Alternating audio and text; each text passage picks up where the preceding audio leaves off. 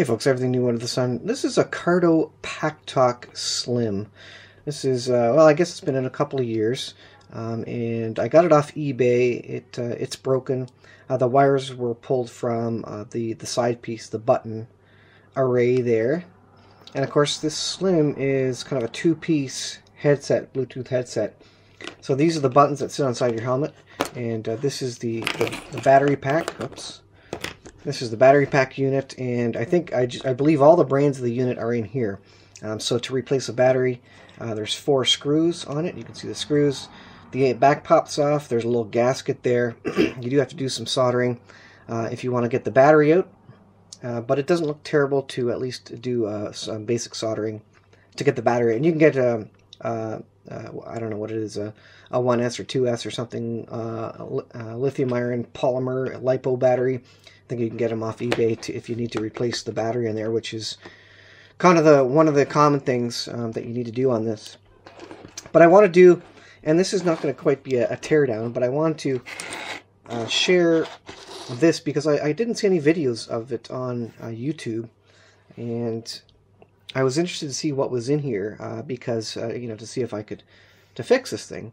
So often, and let's see, I'm going to put a, a little 3.5 millimeter jack beside it so you can kind of see the size uh, of that. Uh, let's see, let me just zoom in a little bit. Uh, it's not not super clear, but anyways, you can kind of gauge the size of it there uh, for 3.5 millimeter jack. Now, normally uh, this USB connector here this guy is the one that breaks off on a lot of these just from use uh, inserting and uh, taking out the, the charge cable. And this guy pop this guy uh, uh breaks off the solder's uh, break. And unfortunately, I can't get too too big of a too much of a close up there. But again, to solder this is really really tough. Um, yeah, it, it's really really tough. Although I don't think a lot of I don't know if there's any data that goes through there. So if you get five volts uh, soldered in there somehow, you may be able to, to repower it without having to send it back to, to Cardo. Or if you get it secondhand, you probably can't send it back to Cardo. Now in this one, the whole uh, side, there's a, a, plastic piece that came up here which uh, attached it to the helmet. And this connector, this 12-pin connector, uh, popped off right there. That's where it used to go. And there used to be a female uh, connector part there. I don't know if this is a JST connector. I couldn't find any documentation or schematics on it. Um, very hard to find. Even videos uh, showing uh, you know a teardown of this or anybody breaking into this, uh, you, I can't find it. If you can find it, let me know. I even asked Cardo uh, if they would send me a schematic. Of course, I haven't heard back. So what you'll see on this, hope that's in focus there. Uh, what you'll see on this uh, is there is an antenna wire, which is here, which boy you can't really see on the video there. I don't know if I can blow that up in post-processing, but uh, there's an antenna wire there, uh, which goes up into here underneath underneath the rubber pad. And so there's a big flat metal uh, antenna here, array effectively underneath this rubber pad uh, that is underneath or, or around the, the various uh, uh, buttons that are in there. So that's what that goes to. Uh, it's, a, basically a, a, micro, tiny coax cable with a one central cable and, and then a ground wire um, that goes back there.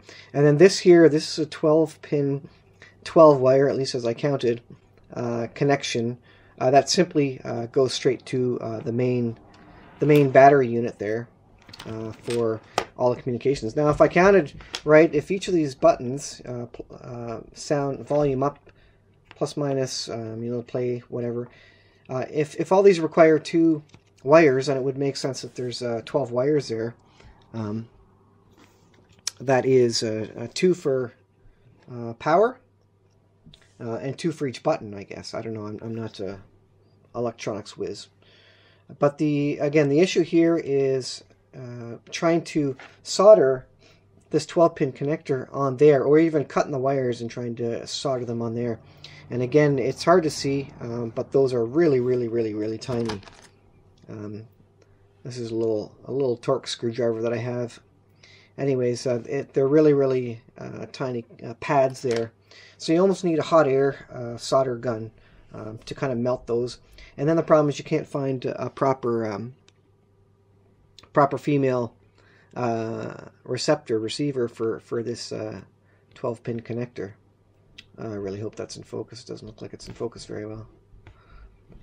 So, anyways, uh, that's what it amounts to, and it's it is hard. You can put peel the rubber back and get at the uh, buttons, um, but it's it looks a little bit harder to kind of get this ribbon cable off and to peel it all apart in order to get the board out there if you were going to do some uh, soldering on it. So uh, yeah, I, I, guess the main message is that uh, all these solder pads are uh, very very tiny. Um, again, here's a look at a 3.5 millimeter jack uh, in relation to this, and uh, and you want to get a solder solder solder iron in there and uh, solder those pads. Well, it's uh, uh, nearly impossible. I mean, I guess you can do it. I, guess there's ways, uh, but it's hard for sure. I think the be better way, and not that you can find many on eBay, but the better way may be just to cut this guy right off and replace this whole end of it if you can find a used one. If, for example, someone has uh, thrown away the whole unit because maybe the battery was dead and they gave up on it and bought a new one, uh, then you could very well just, uh, you know, cut that in the center and uh, solder those wires together. It's not so bad when you're working in between here to solder those wires, but you try and get on that board there and those solder pads, so that's going to be another situation.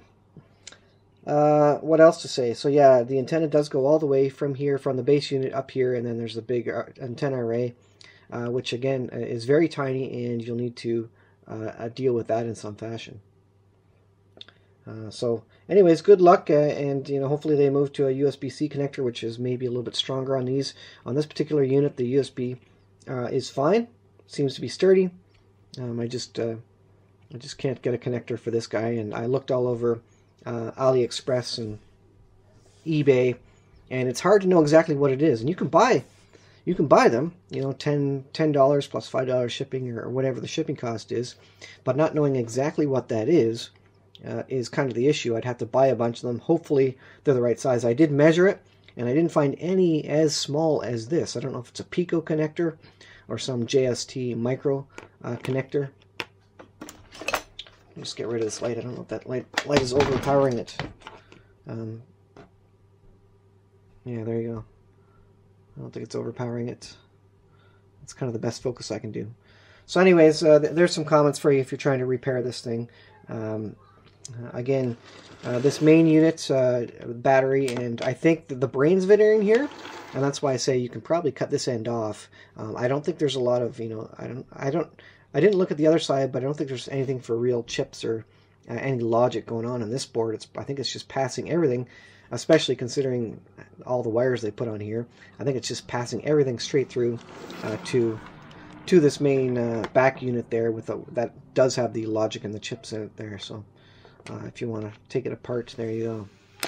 So hopefully, hopefully that helps the next guy. Um, again, because I, I couldn't find anything uh, for this uh, particular unit.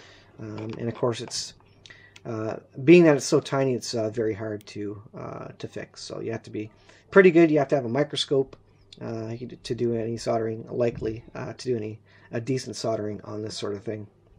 So I'll leave there, guys. Thanks for watching. Let me know if you have any questions. We'll see you in the next video.